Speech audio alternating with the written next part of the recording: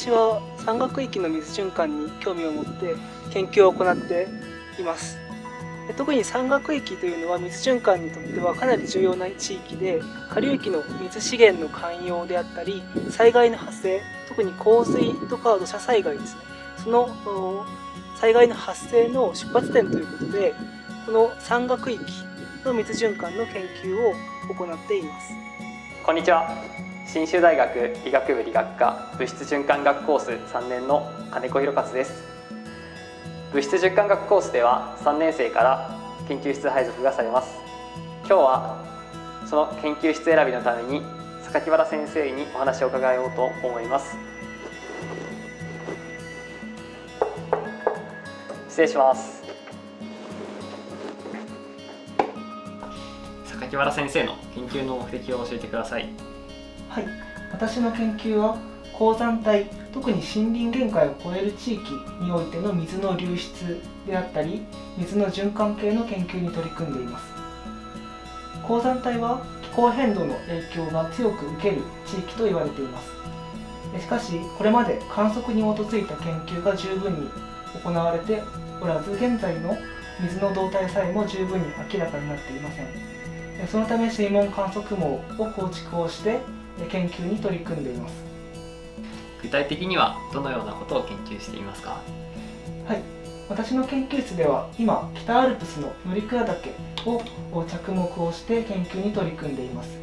各種許可申請をした上で降水量渓流の流量水質などの観測するセンサーを現場に取り付け観測に取り組んでいます特に現在着目をしている現象は短期間の豪雨イベント時の流出の現象の解明に取り組んでいます。これまで鉱山帯はほとんど水を貯留する機能がないと考えられてきました。しかし実際に観測をしてみるとこちらの図は降水量の時間変化と渓流の流量の時間変化を示しています。がこのように雨が降った後も数日間にわたる流量の維持というものが観測されています。これは鉱山帯に一時的に水が貯留されるということがなければ説明ができない観測結果ということができると思います。それでは世界の鉱山帯と比べて日本の鉱山帯の特徴は何かありますか？はい、えそれは降水量の多さだと思います。鉱山帯の主な研究の中心であるアメリカやヨーロッパでは夏に乾燥する気候です。そのためそれらの地域では夏の乾燥している期間にどのように人々が水を手に入れるのかといったことに着目をしているわけです。一方で日本の鉱山帯ではアジアモンスーンの影響を受けて非常に多くの降水が夏の期間に起こります。この降水は洪水や土砂災害の源にもなりますしうまく利用できれば水資源になります。このような場所での研究例は世界的に見ても類を見ないです。防災の技術の発展であったり水資源の問題の解決に向けた研究について日本の鉱山帯から新しい知見を発信していくべきだと考えています。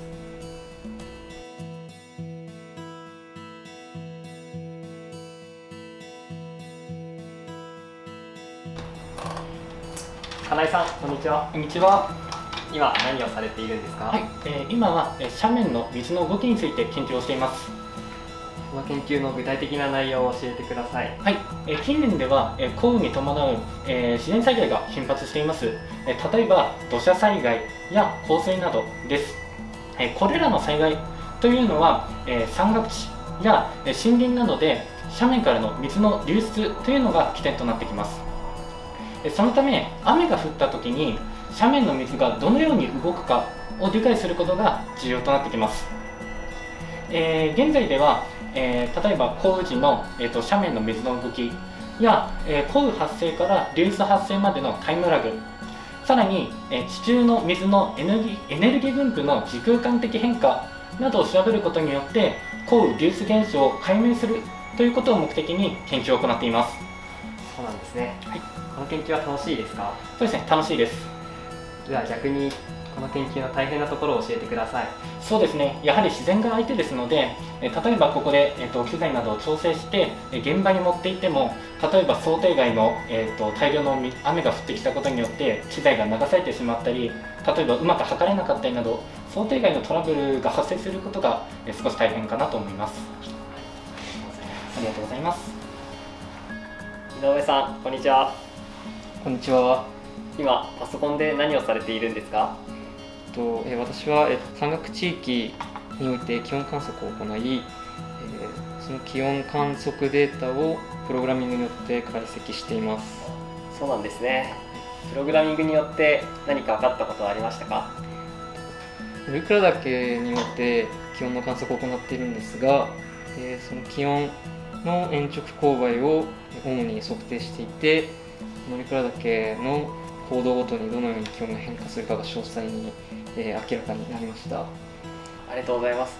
私も山岳地域の気温データについてはすごく興味があります。また詳しくお話を聞かせてください。ぜひ聞いてください。ゆきひろさんこんにちは。こんにちは。ゆきひろさんの研究内容を教えてください。はい。私の研究は北アルプスの広域の地質と水質の関係を調べることです。では今どんな作業をされているんですか？今は地理情報システムを用いて流域の地質の空間分布を調べています。この研究のためにどんなフィールドワークをされたんですか？はい。実際に北アルプスの槍ヶ岳や雲の平などに登って水を汲む作業を合計で19日間行いました。